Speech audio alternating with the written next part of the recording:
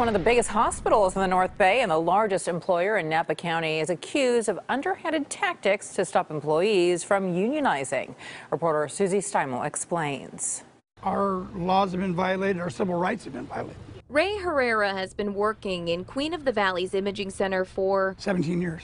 All the while, he's been trying to help his coworkers unionize. Finally, in November, hospital employees voted to elect a union, but the hospital says they didn't follow proper protocol. Ray says the hospital is just trying to scare them out of organizing. And they very much intimidated the cafeteria workers and the, um, the housekeeping workers, and a lot of them are Spanish speaking, less educated and seemed like they were easy targets. Now the National Labor Relations Board is involved, backing up Ray's claims, saying the hospital is guilty of coercion.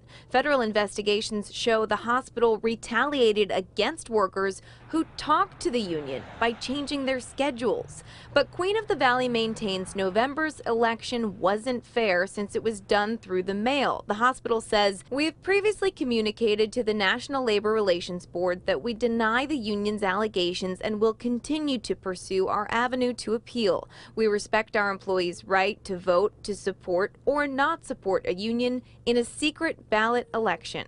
Employees have tried to unionize three times in the past 20 years. Ray says not having a union is directly affecting patient care.